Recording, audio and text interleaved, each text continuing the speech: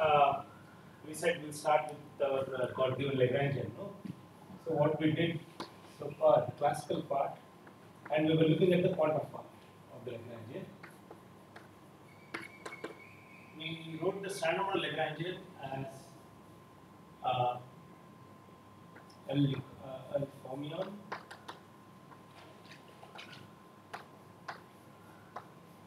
L gauge L Yukawa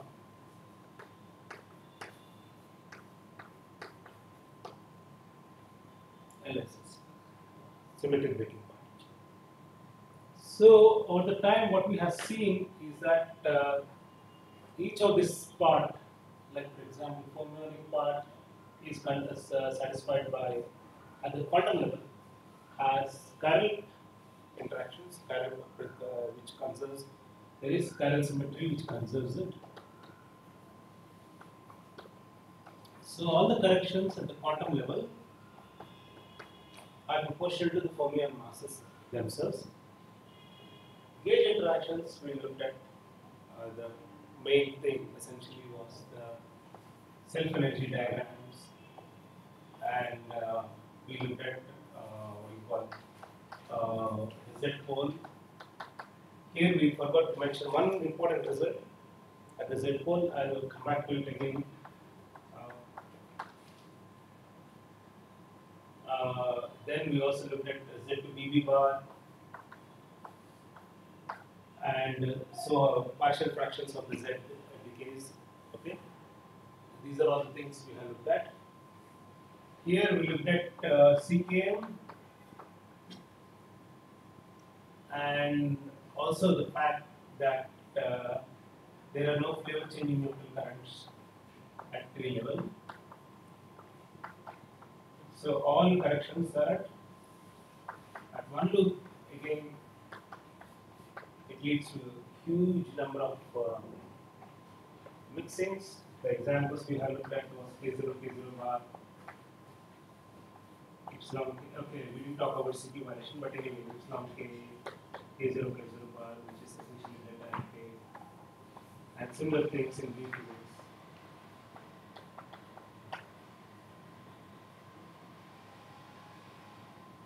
And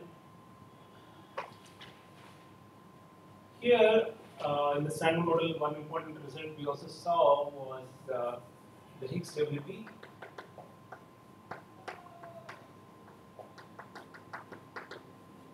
Post the discovery of the Higgs,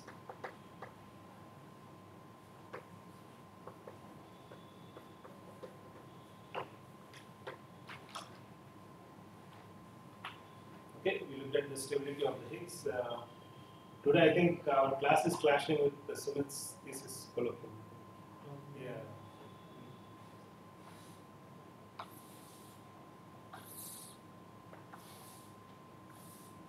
Uh, Higgs stability post the discovery of the Higgs.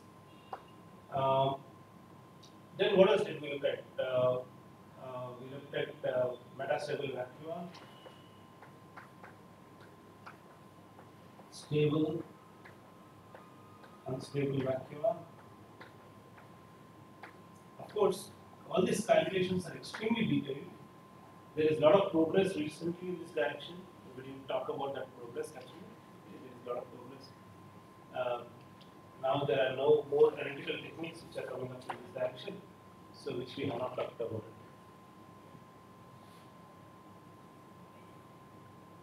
Okay, now, I mentioned that I forgot to mention one important result. Uh, uh, here, in, during the partial bits of Z to BB I think uh, because I was trying to cover a lot of information, the entire standard model within two, three lectures, there is a lot of information. I missed one point, which is called the invisible decay with where uh, the Z, when Z uh, invisible goes to bar. okay okay z decays to mu bar so this is extracted from the experiment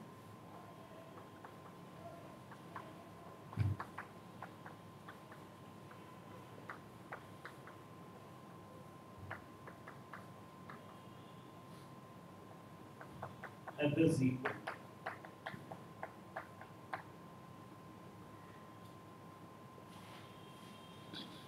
At the z pole, and uh, this is highly well measured.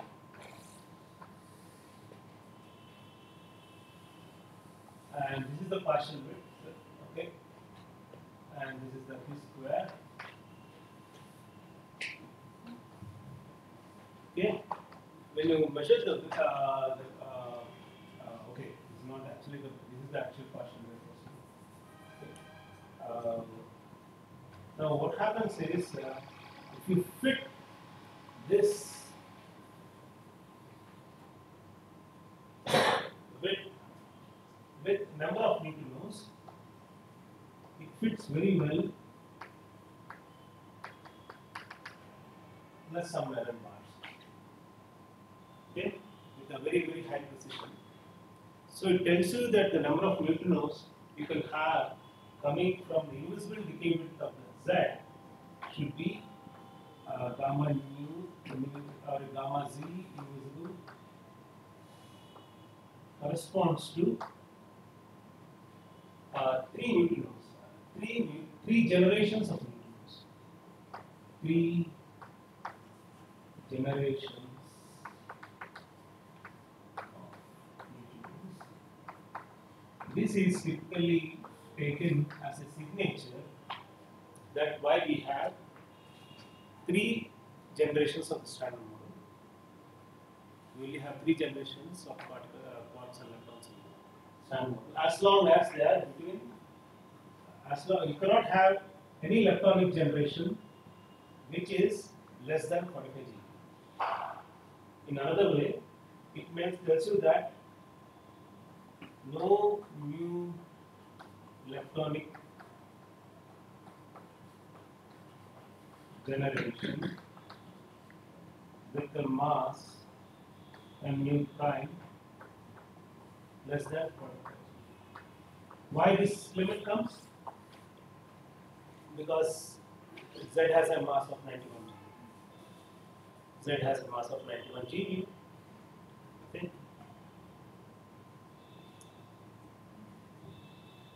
So this tell could put constraints on many models including dark matter models. Okay. Any bit like dark matter models. Neutrino models and stuff like that.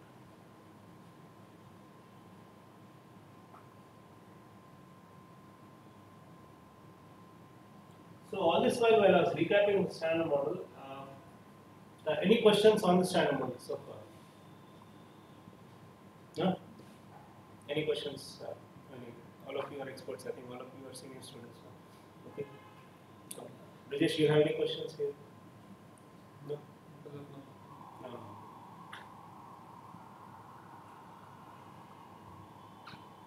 Okay. So, uh, at the quantum level, I said the classical symmetries, uh, which we did looked at,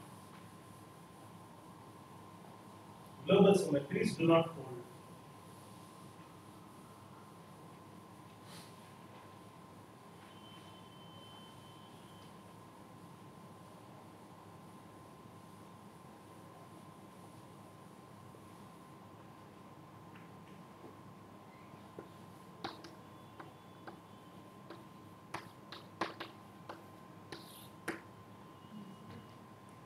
This is an extremely much abused word.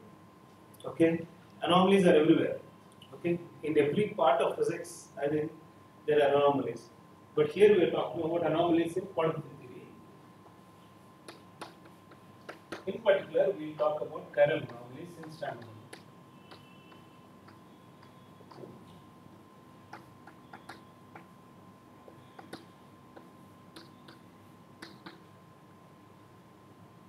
Why we are talking about this again? Our motivation is again purely in the context of physics. Okay, any new particle if you add randomly, which is charged under the standard gauge group, should cancel anomalies. If it doesn't cancel anomalies, okay, it will lead to problems. So what are these anomalies? At the simplest level, you can think that uh, symmetry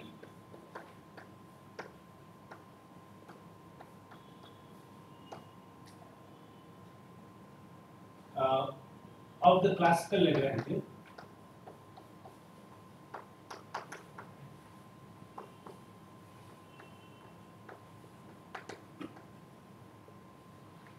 is broken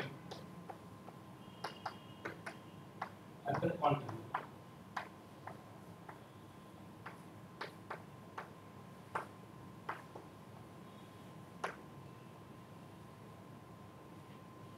At the quantum level. So, uh, the last time we talked about how do you check the symmetry, invariance of classical symmetries and quantum symmetries. We have talked about two distinguished things, right? So the classical symmetries are essentially uh, sym uh, symmetries like of the, uh, the gauge symmetries are the classical symmetries. Then lepton numbers, baryon number. Then we talked about approximate symmetries like uh, global symmetries like you know uh, what are flavor symmetries and so on. So essentially QCD symmetries and so on. So uh, what happens in the quantum uh, uh, at the gauge symmetries,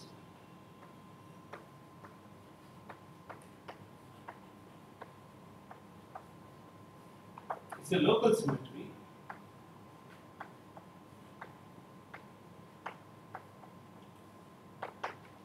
A local symmetry, local gauge symmetry, right? It is valid at the classical level. The Lagrangian monotone is completely valid. So you can imagine that in terms of you can write is equal to zero. It's valid. If you write it in of covariant derivative, this is valid. So this want is the matter part of the current essentially which is. Now this should also be valid at the quantum level. So how do you check at the quantum level? There are several ways of at it, but at the quantum level, this should this conservation of the current should always be valid. This conservation of the current should always be valid. So this is how do you see it? I said there are quantities like Ward identities. Okay, there are quantities like identities. Similar to Ward identities, there are something in non-abelian series which you learned in your KF2 class. Slavno, let's write it as Slavnov-Taylor identities. The Slavnov-Taylor identities will no longer be valid at the quantum. This doesn't happen for all the currents. This doesn't happen for all the gauge currents, but only those gauge currents which have gamma five. Okay, those currents which have at least one gamma five. So this we'll take one particular example. Okay. So this particular current is also called axial current.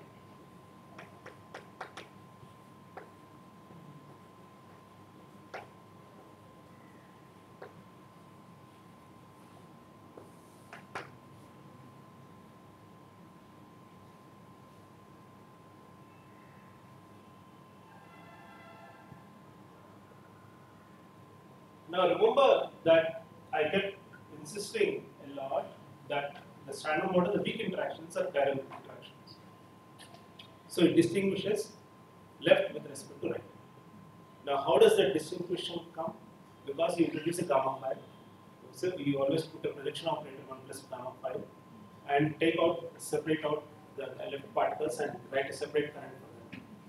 So okay, so this is best uh, established in terms of uh, so whenever you put a gamma five, you can write a current associated with that. So J mu gamma five, okay, which is called the axial vector current.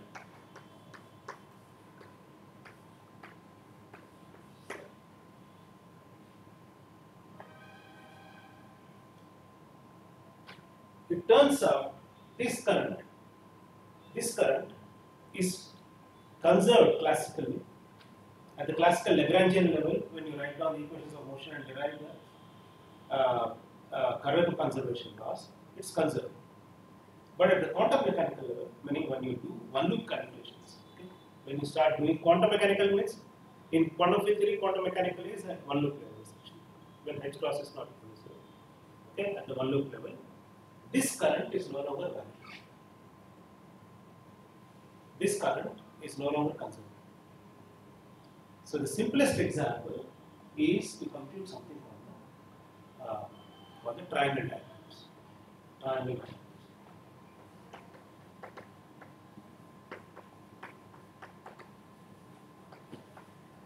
These are diagrams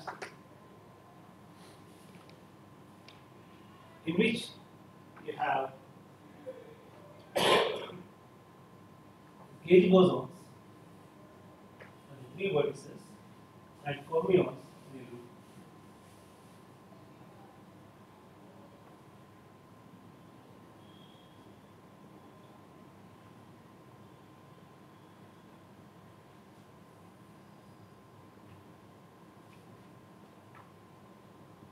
Now in the standard model, you have three gauge loops.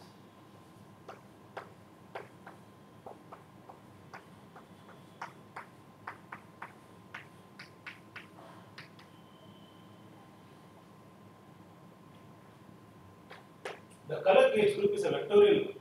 Maybe I mentioned it several times. It's non-anomalous. So that means if you put a two gluons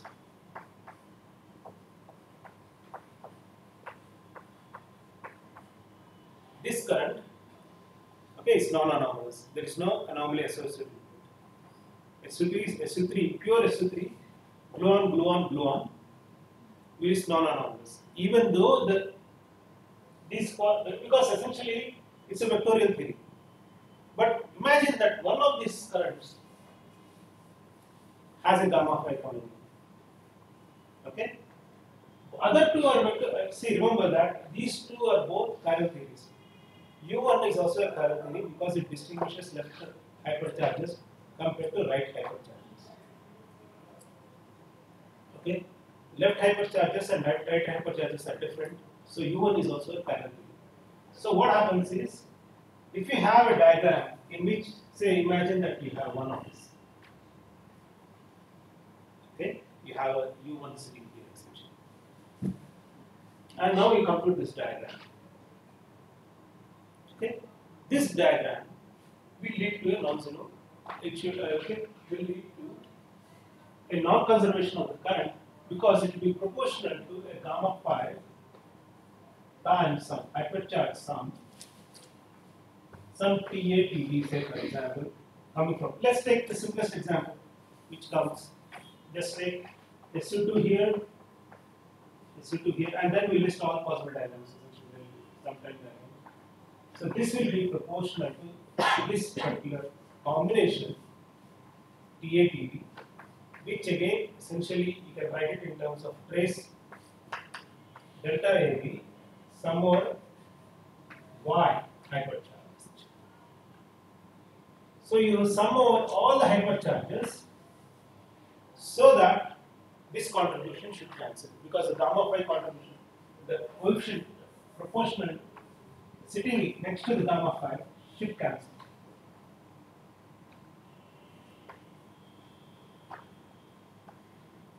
In terms of the currents, you can do it in various ways. Actually, there is a lot of deep uh, field theory associated with anomalies. Okay, okay, let's do this. Uh, uh, let's look at this one.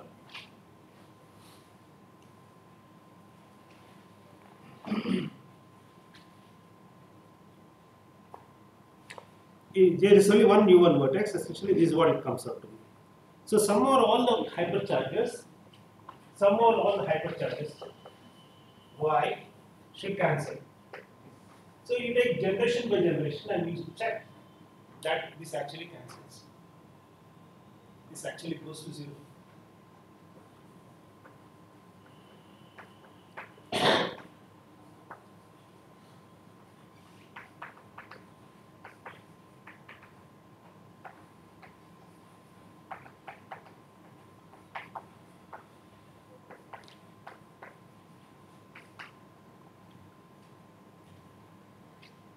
Why should it go to zero? Why it's called an anomaly? Q of t course, forgot. why it's called an anomaly? Why should it go to zero? Why is I resisting?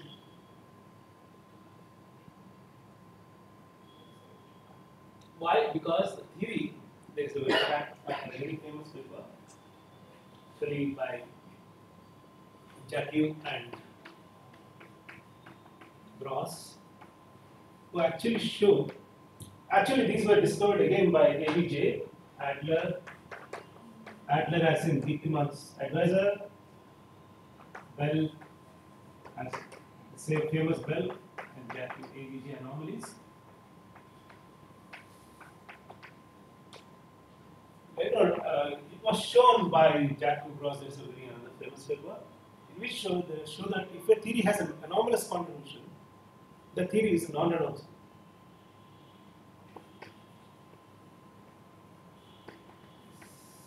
Non why it is non-reducible?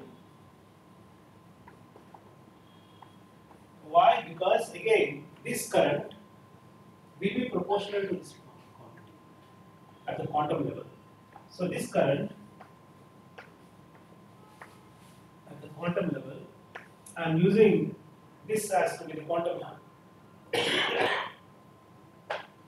is typically called an anomaly function. A uh,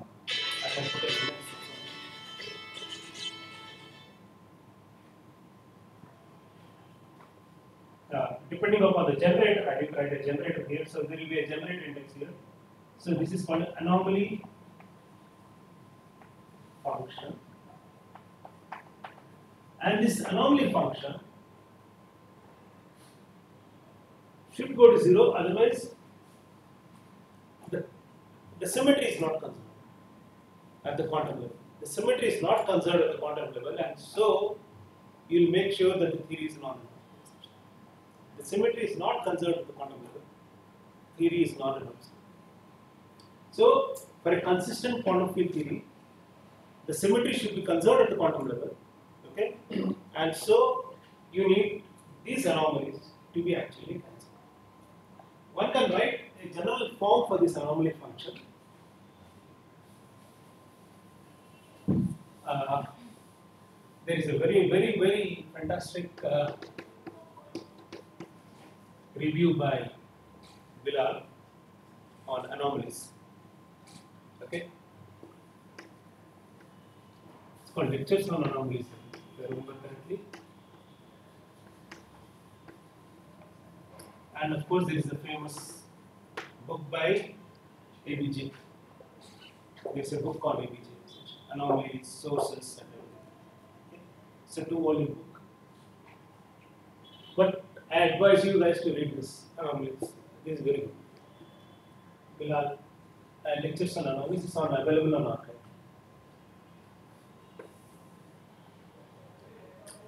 So the anomaly function for a generator uh, of any symmetry, say for example for an abelian or non-abelian symmetry, some generate R, will turn out actually using some path integral methods and everything, some 16 pi square, some representation trace f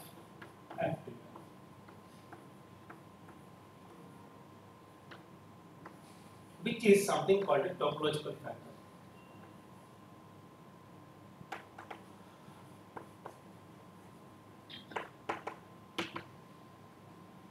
Which will end up being some, some topological factor. It is it is just dependent on some topological factors. So these anomalies should cancel. Otherwise, what happens is your currents will not be conserved, your, or equivalently, your Slavnov-Taylor identities will not be conserved. Okay, you can re-express this in terms of the Slavnov where del by del uh, W times you know, in terms of the path integral, you can write your slam dot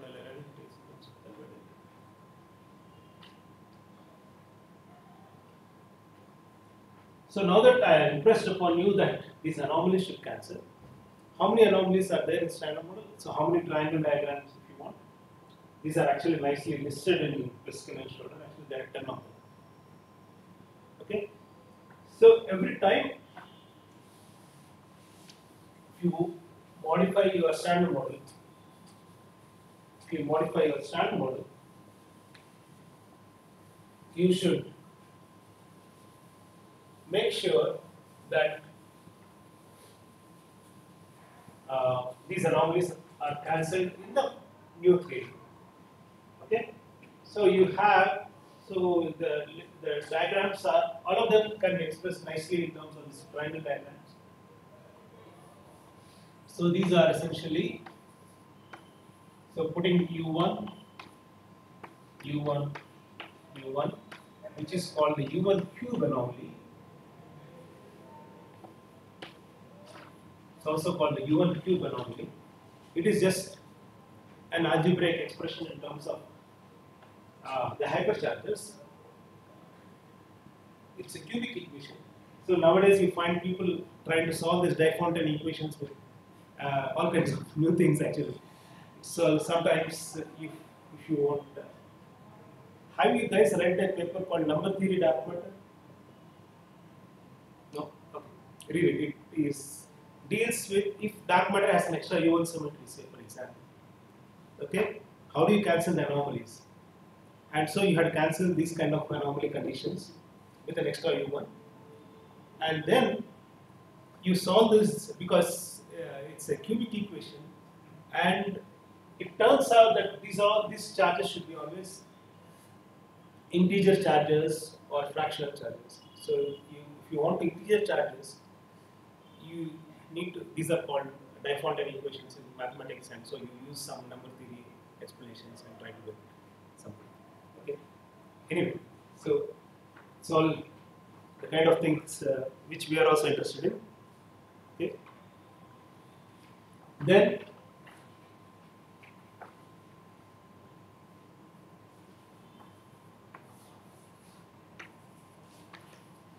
SU2, U1, U1,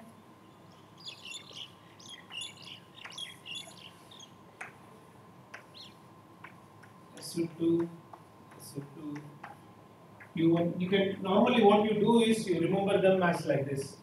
SU2, U1 square, SU2 square, U1, so and so. Then SU2 cube.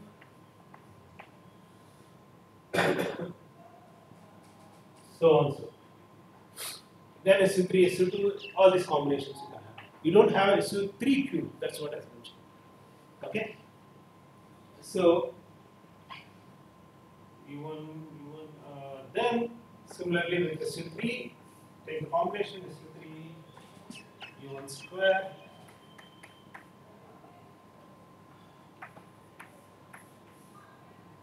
SU2, SU3, U1, and so on so. So this will give you uh, some combination because these are three of them, three gauge groups. So three, three cube, uh, three, uh, three, three, three combinations each. So you'll get nine equations essentially. This will give you nine equations. So there are these nine anomaly conditions. The last one goes under the name uh, gravitational anomalies. So if you couple the standard model to a light graviton, you'll have another anomaly. So, so sometimes called the Witten anomaly. Yes, there are several Witten anomalies. So I should be careful actually. So, yeah, okay. Yeah. So these are the 10 anomaly conditions which are in standard model which have to be satisfied. And the standard model particle content is such that it satisfies. So making sure that it's reducible even at the quantum level and the particle content is such that. Okay, theoretically, okay, you are making the theory is. So does it have any practical applications? Are there any places where you can think that if I don't add the anomaly contribution or something, okay, which will uh, uh, the results will be modified. So these figures are there in Peskin Schroeder, so you can just have a look at it. So S actually, say for example, if you are having uh, in PP bar collisions, say for example, or PP collisions, if you have a W boson production or something, and if you start computing uh, the say QCD corrections to them.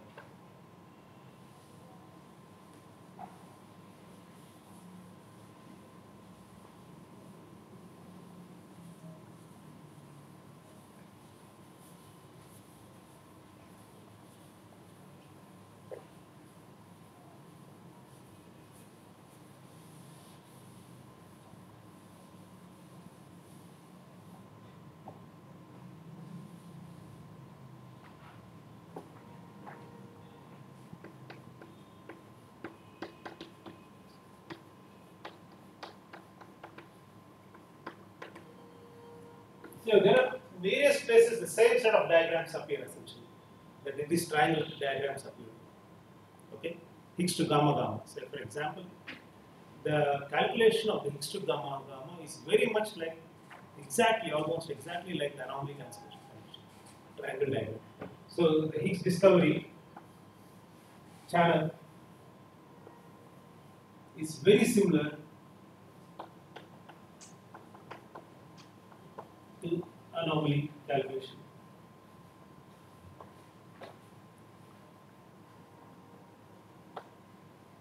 Okay, so if you work in RZ gauges or other unitary gauge, you, yeah, yeah, there are some controversies about it essentially, which were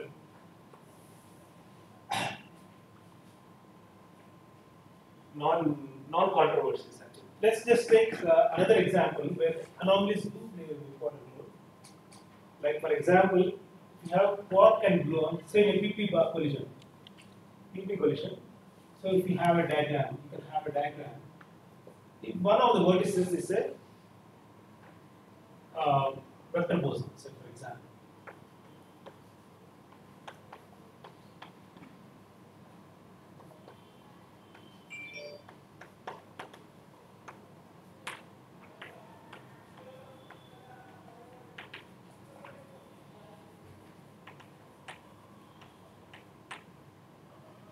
vector boson production at hadronic colliders. So you have diagrams like this type. So you say you start with a quark, and then you have a gluon, then you have a triangle diagram, and then this could be some vector. This is exactly the anomaly.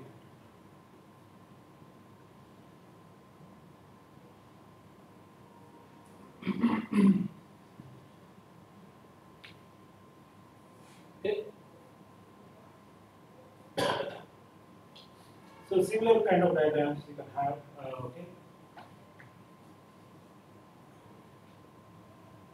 So this is like SU3, SU3. It could be U1 or SU. Now, so happens that if you have these anomalies, you also have to make sure that you add all the three generations in this. All the three generations in the loops of the fermion triangle. Okay, so you say that okay, my energy is not sufficient. I don't care about the virtual contributions. Say the virtual contributions top quark is very heavy. It will suppress or something. If you say and if you don't have the top quark mass or the top quark loop, say for example, it will never work out. It will not work out. Say for example, you cannot neglect anything. In fact, it has physical, say especially if you take distributions of this, uh, say d sigma by in various distributions essentially. All the contributions have to be taken into consideration, all the generations, okay, and then make a physical difference in the shape of the distribution. Okay.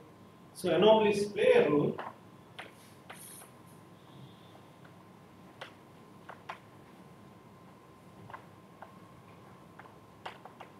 in um, physical process. When I say this thing, uh, I mean uh, physical process in the sense that uh, we had take the anomaly contribution also in this kind of physical process, such that you get uh, meaningful results and correct results at the end of the day. And they can actually, if you don't take this contribution, say for example, top power contribution to this or something, the shape of the distribution will be completely different compared to what you get with that thing. So when you match with exponent, you may be matching with the wrong results. So the theory, its calculation itself will not be consistent when you want to measure. Okay. So this is uh, this is essentially uh, NLO calculation for vector boson production at atomic level. So, no, I think this was started in 19, late 80s or 87, 88 or something. This calculation started. Nowadays, it's a very big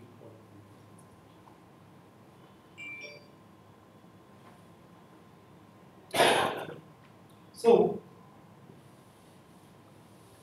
so anomalies play a very, very important role. So, if you add a fourth generation, the anomalies cancel. If you exactly add exactly fourth generation, all heavy and everything, the anomalies cancel. So they cancel generation by generation. You make sure that you are consistent with the philological conditions. You can add any n number of generations.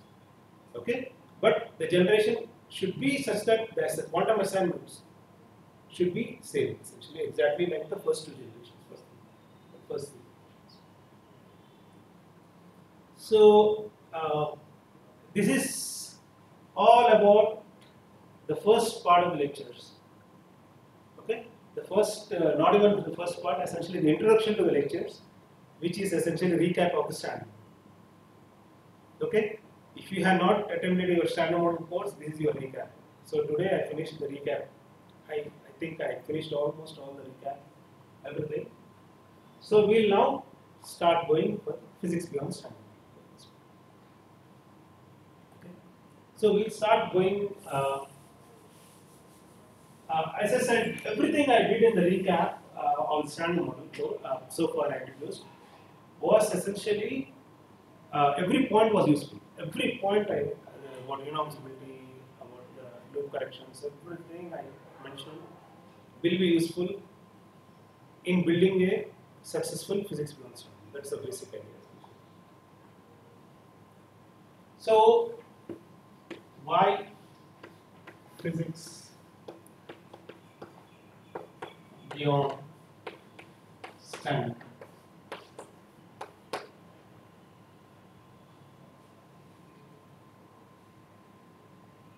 Why? Why this course? Why should go? okay. Any answers? lots of questions Right. Yeah. So this is uh, so this is what I should have asked in the first lecture itself, but anyway. Yeah. Why physics beyond standard?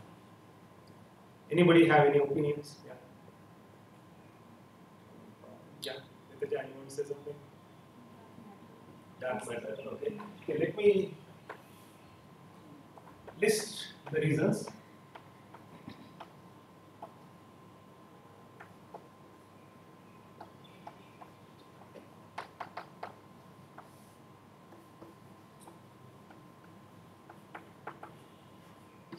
So Rituja says dark matter. Anybody says anything else? Huh?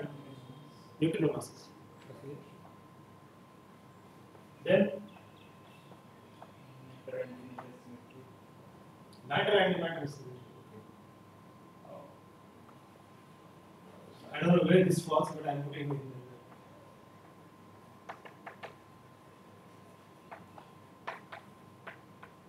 Then,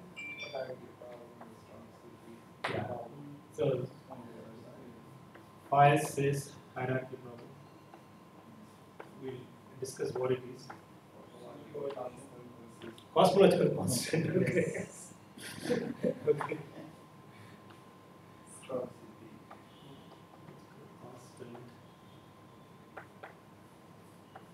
Strong CP. Then, Factorial growth of, pardon? factorial growth of scalars. Uh, Breakdown of unitarity or uh, factorial growth of scalars of pi multiplied. uh, it's, a, it's very similar to this one. So this is the same. If you have large Explosion. Yeah. Explosion. Any other, any other reason why do you want to go to standard? Just for the heck of it? We had no other job to do. Okay.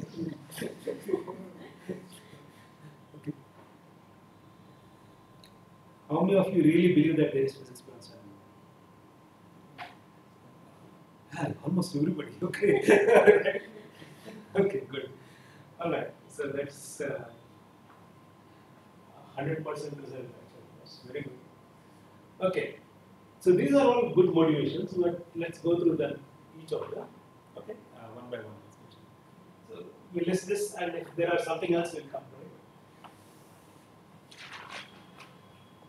So the, today I'll uh, discuss one problem. Okay, we'll just go through these things one by one. Okay, one by one we'll just go through these things. Why this is important. So today I wanted to bring to this point hierarchy, and then we'll come. I won't say much about cosmological constant. Okay, I'll say some things. Strong CP problem, dark matter, neutrino masses. Anyway, this also I'll address a little bit, and uh, matter antimatter symmetry, and so on. So various things. But let's uh, address this thing about hierarchy. Okay. So what is hierarchy?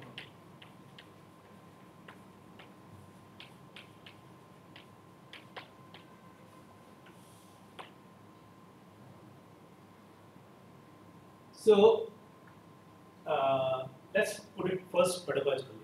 Okay. So we know that how many forces are there. So let's just say there are four forces. Okay. So four forces. But these four forces are not actually of the same strength. So let's look at that uh, at the quantum level. Essentially, they are not really at the same level. So there are four hierarchical forces.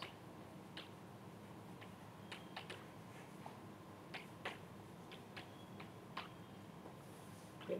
So there is a hierarchy within the interactions. The interactions are not of the same strength essentially. Okay. So there is a hierarchy.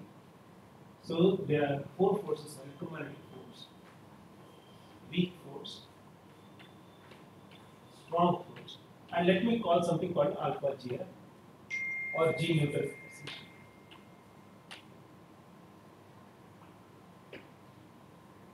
Okay. These four forces are of these four, the weakest is essentially gravity, though we call the weak interactions. Okay. So this is these three are so nuclearly. So at the Fermi scale, essentially at the Fermi level or something like Grotz Fermi scale, the weakest is the gravity scale. So the gravity sits at a scale, you convert it into energy units or the length scales, these are the round of length scales which will be important is 10 power minus 33. Or in terms of energy, because I am writing everything in natural units, it is 10 power 18. uh,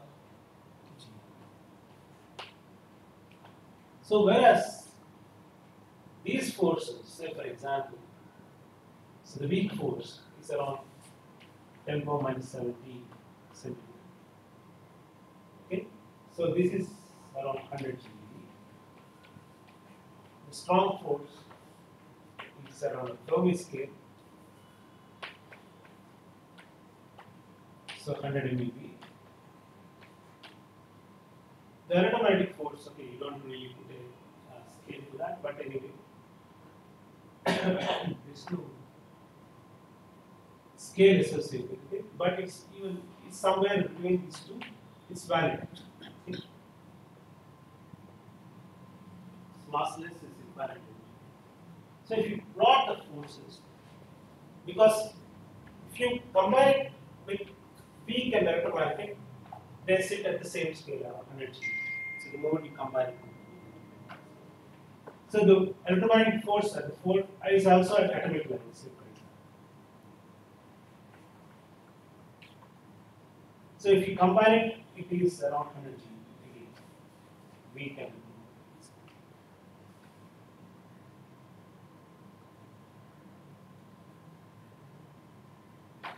So these scales asso- are, uh, are associated with the quantum nature of this when the interactions appear, when the quantum nature of these interactions appear. So below the atomic, uh, for scales much much larger than atomic scale, you don't care about photons, you only care about electromagnetic waves. So at the atomic scale, you to start worrying about uh, around angstrom, say for example. Okay, at that scale, you to worry about the photon structure, uh, really like a particle structure. So, if you put it in terms of scales, so this around 10 power 18, and this is there's a huge 16 orders of magnitude between the rest of the forces here. So this is called the hierarchy of the forces at the quantum level.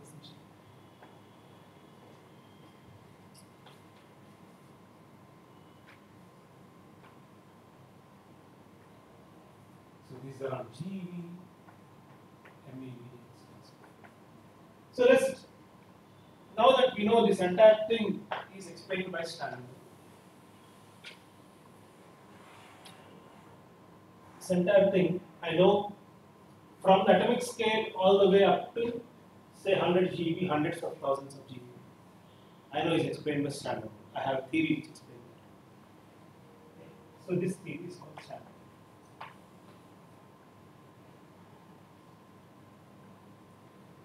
So this is the standard model scale. I can replace everything in terms of standard model scale. Okay. So I can forget about the atomic scales and everything.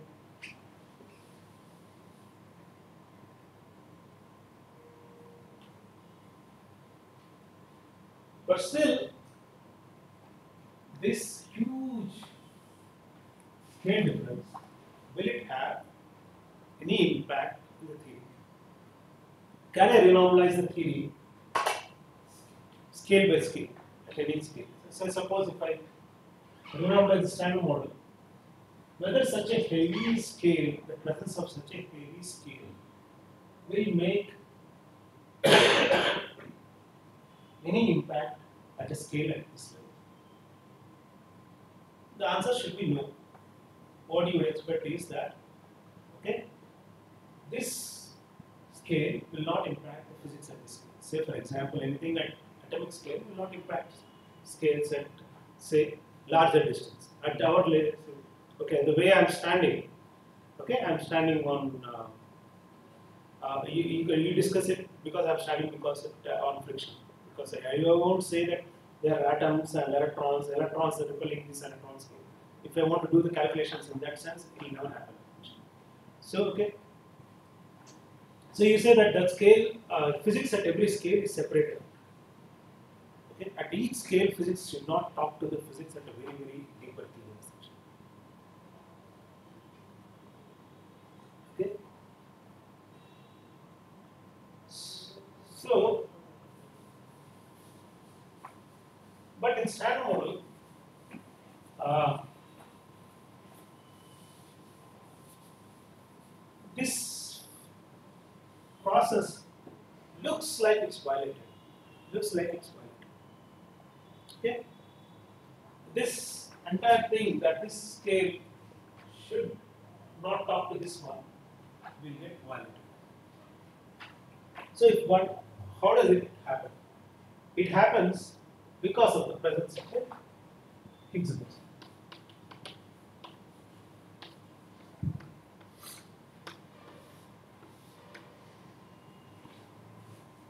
The presence of a Higgs boson.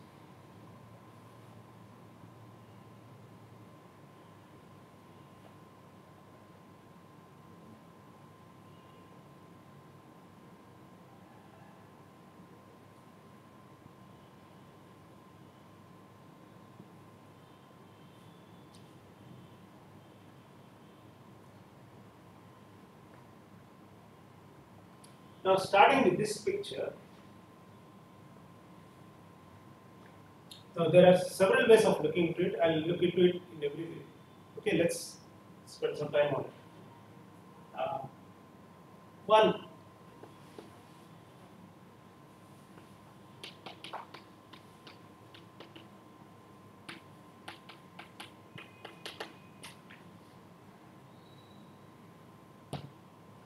This goes under the name Wilson effective theory. Right? Like you start with the standard model Lagrangian. Okay, this contains, like, like I said, all the classical Lagrangian, all the parts essentially. It also contains an SSB plus the rest.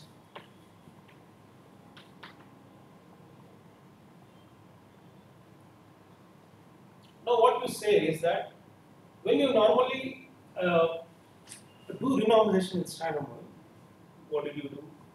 Okay, uh, so or the Callan-Symanzik or any other renormalization, what we do is we actually compute a uh, loop diagram, and then you use dimensional regularization, identify and isolate the infinity, and reabsorb all the physical parameters. Now, in the Wilsonian theory, Wilson, so when you derive an effective Lagrangian also, you can do the same thing. but there is something called the Wilsonian effective Lagrangian. The Wilsonian effective Lagrangian is more motivated by statistical mechanics essentially. Okay, so in the Wilsonian effective Lagrangian, so again, the, the reason is because its system is very much like a statistical system. Remember that. Because it's a many body system, it all collapses at the lowest energy state in a potential. Okay? And then it forms something a condensate essentially. Okay? So the in the Wilsonian effective action, the basic idea is you derive the one loop effective action by imposing a cutoff. By imposing a just a cutoff essentially of the theory. So L effective action is e power i over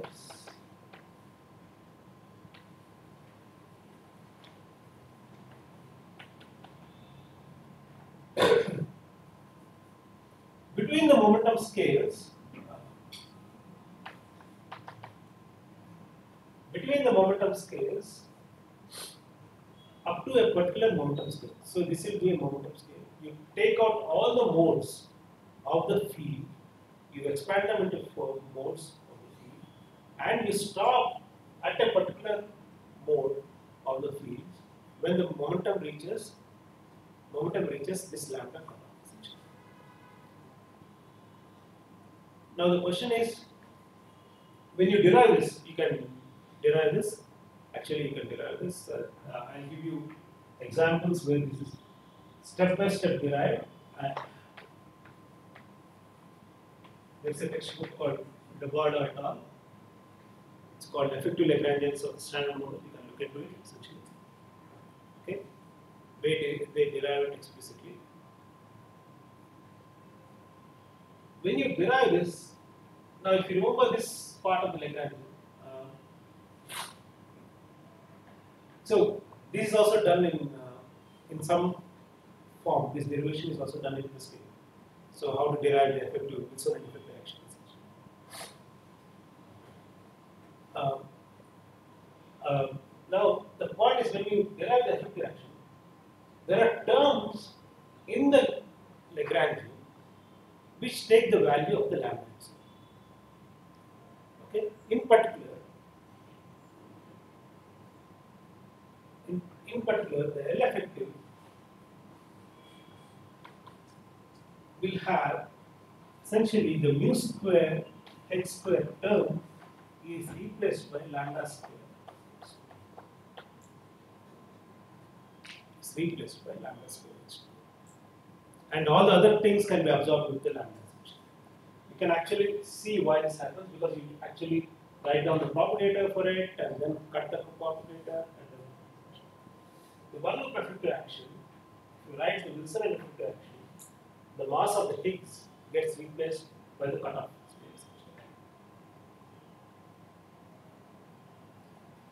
But do we need a cutoff?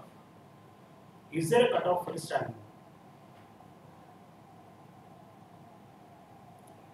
Is it possible that the standard model is always valid at all scales up to infinity? Minus infinity, plus infinity, and forget about it. Is there a physical cutoff? Now the argument is that there is a physical cutoff because there is quantum gravity always. Okay, at a scale, okay, at around 10 power 18 GeV or something, at a reduced Planck scale, there is a new theory which comes over, which is a quantum gravitational theory. And if there is a quantum gravitational theory,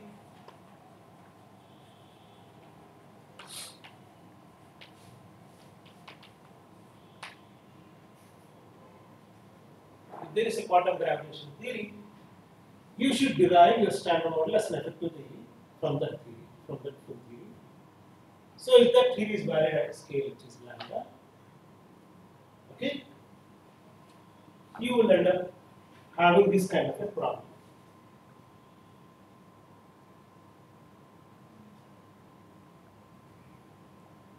Okay? So the mu square will be replaced by lambda square. This was supposed to be proposed by Wilson and then Susskind and all the great. You can actually read the paper by Susskind actually, that's very nice. But he introduced the word quadratic divergence, which made a mess. Okay. he introduced the word. That paper, that was the first paper I read. Yeah. Let's, I, I won't utter the word quadratic divergence. Yeah. So it is divergent with, uh, with a large power of the line. Sir, uh, is this similar to how like a Fermi theory was done? with the- in, in Fermi theory, okay, but it's a very controlled theory because uh, in Fermi theory you don't have uh, scalars. That's the point. And uh, okay, if you have fermions, it doesn't happen. Why does it happen only for the Higgs particle? Okay, say for example, it doesn't happen in Fermi theory. It doesn't happen in QED also. In QED also, if you write an effective Lagrangian from QED, starting QED, it doesn't happen. Uh, that you look at uh, a very nice article by Murayama. Okay, uh, he also does it, and then also by Giudice also. Okay, on naturalness, Murayama also Okay, so QED doesn't happen because I, this also I mentioned in one of the previous lectures that all the corrections to the fermion masses are proportional to themselves. For a scalar, the corrections are not there because scalar doesn't have any symmetry which protects its mass. There is no symmetry which protects the mass of the scalar. You want to say something, Raj? Actually, I want to ask a question. Okay. If we ignore gravity for now, Yeah. I'll come to that point. I'll just come to it. Yeah. uh, is there any motivation for having uh, Hierarchical. UV sector other than neutrino masses, natural neutrino masses?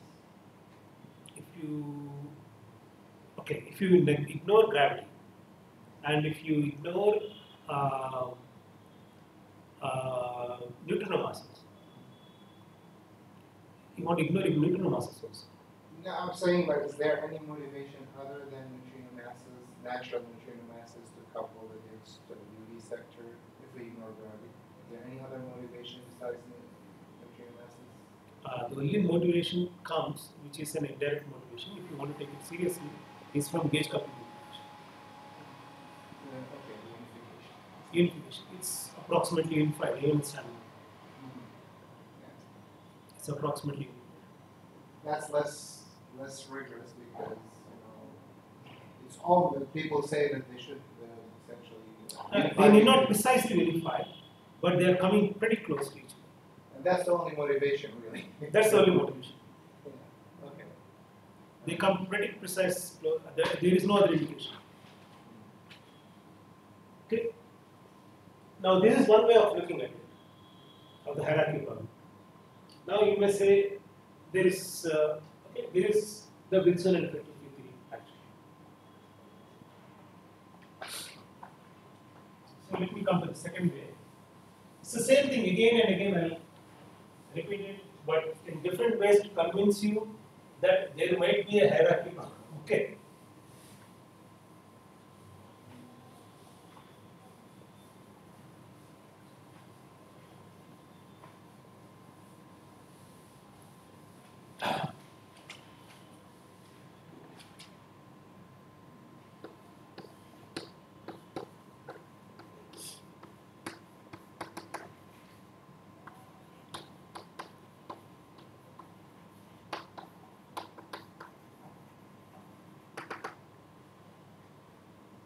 There is a very famous paper by Horace and Lomley in the 1980s, essentially, and then also uh, for Weinberg in the debate. essentially. This idea stems from the fact that uh, when you run the gauge couplings, this I have mentioned it in one of the previous lectures that when you compute the RG equations, when I introduce the beta functions and RG equations, they seem to be roughly unifying at a scale. There is some triangle here. So the net triangle,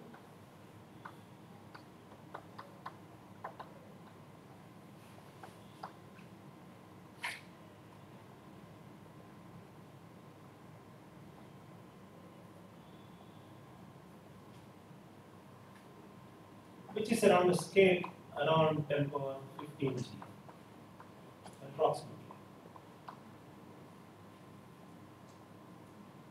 So the question is, so even at the big scale, they may seem to be, there is some difference in the gauge coupling values. Okay, they all seem to be very different and they will not be same. While running this alpha weak, uh, this is alpha strong, uh, alpha strong, alpha when they run along the way, okay, they come. Alpha strong becomes weaker, alpha uh, actually becomes stronger with energy. It is opposite of the um, alpha strong. It doesn't have asymptotic freedom, it has, it has asymptotic slavery if you want. Okay. So, in fact, if you ask the question when the alpha electromagnetic blows up, it at a scale around 10 power 1 185 or something, very large scale. So anyway, these things unify at some scale. So this led to the idea that there is some theory which is called grand unified theory. In fact, they were not exactly matched, but you can have theories. There could be some very large theory, which with a very large gauge group something called SO10 model, in which the threshold corrections or corrections to the gauge couplings at that scale could be such that they can unify exactly. It could happen. Uh, there is a very famous paper by Wolfenstein and Loera who showed that just threshold corrections of SO10 can, within the standard model, can unify the gauge couplings. It's very, very tight but you can actually have exact information. Okay, so we don't know what is there up. Okay, very high energies, we have no clue what is there, but there could be some some way that these gauge couplings are unified. So there is some new theory instead of quantum gravity, but there is some new theory which takes over, which is called grand unification. Suppose if you live in a grand unification theory, like SU5. So SU5 is broken down spontaneously again.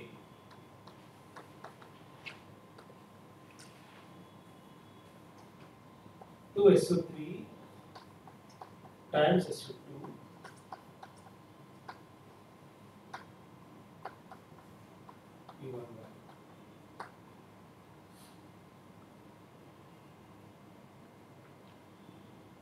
now, so this has to be broken very carefully such that these symmetries are still conserved. The grand, uh, grand unification is broken. Okay? When you do that, you typically introduce a Higgs in the adjoint, and Higgs is the fundamental. Okay? We'll deal with them when we are dealing grand unification. But right now I'm just motivating. So the argument goes like this. Like suppose I break this symmetry along the uh, along the diagonal of this uh, 24 essentially that means it's an adjoint group. So you can write it in a matrix. All the particles, all the particles of the scale of the gut scale will attain masses around that scale. Okay? Now, everything is protected, like in standard gauge bosons are protected by gauge symmetry. Fermions are protected by chiral symmetries. So they all will not get any masses at the gut scale. But the Higgs is not protected by any symmetry. Okay? How does it get a mass? How do you prevent it not getting a mass close to the gut scale? Because everything will be proportional to the vevs of these particles. Like in the standard model, if you break spontaneously, I mentioned it a number of times, right? It is soft breaking, no? Spontaneous symmetry breaking is always soft breaking. So every all the breaking effects will be proportional to the mass of the vev, essentially the vev of the standard model Higgs field. When SU5 is broken, all the breaking effects will be proportional to the gut scale vev. So the vev of that thing would be around gut scale. M gut around 10 power 18, uh, 18 15 GeV, say for example. So all the particles will get masses around 10. Okay. So, but the fermions will remain massless, standard model fermions. But the gut gauge bosons will get masses around M gut. So the X and Y bosons, you will see this in our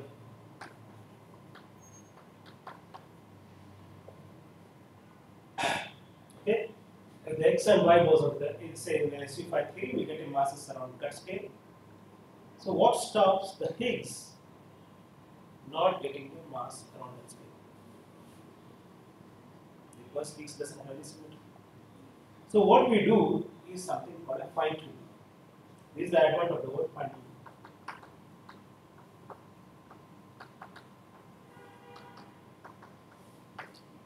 You tune the potential such that one part of the Higgs gets a mass around 100 G, uh, 100 GeV, another part of the Higgs gets a mass around 10 power 15 G. So let me call the triplet mass as the m dot scale. Okay, is the remaining part. So the phi will get doublet and a triplet and receive phi. The triplet will get a mass around, and the doublet is the standard Higgs is around 100 GeVs. So I will fine tune the potential parameters. I fine tune the potential parameters such that this is true at the classical level. But will it remain true at the quantum level? Because there is no symmetry which is protecting the Higgs mass at the quantum level. At the quantum level, this will not get remain true. Large radiative corrections in a theory, you take a concrete theory. This is the calculation which has been done by Buras and company. Take a concrete theory, SU5 theory, break it spontaneously, okay, and you fine tune your potential such that you get your everything correctly. Okay, now you do the one loop calculation. You do the one loop calculation, and in the one loop calculation, what happens is you will find because the potential, the 24 potential also talks to the fives and the Higgs, Higgses, there will be a tiny current uh, coupling between the between the uh, 24, uh, 5 5 bar, 24 is the one coupling is there essentially. Okay? so the one loop corrections to the doublet push it back.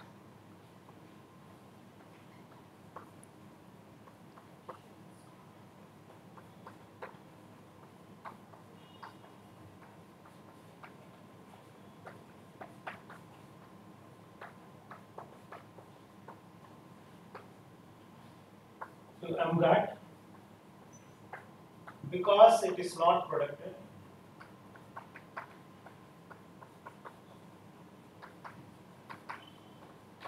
by any symmetry. Or otherwise what you have to do is you have to do again fine tuning on the one loop effective potential. You derive the full one loop effective potential. Do further fine tuning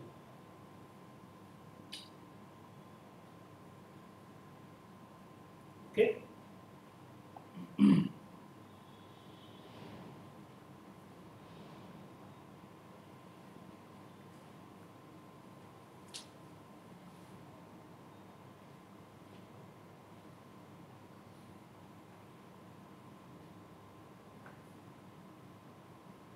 So, for this reason, they say there should be some symmetry. This is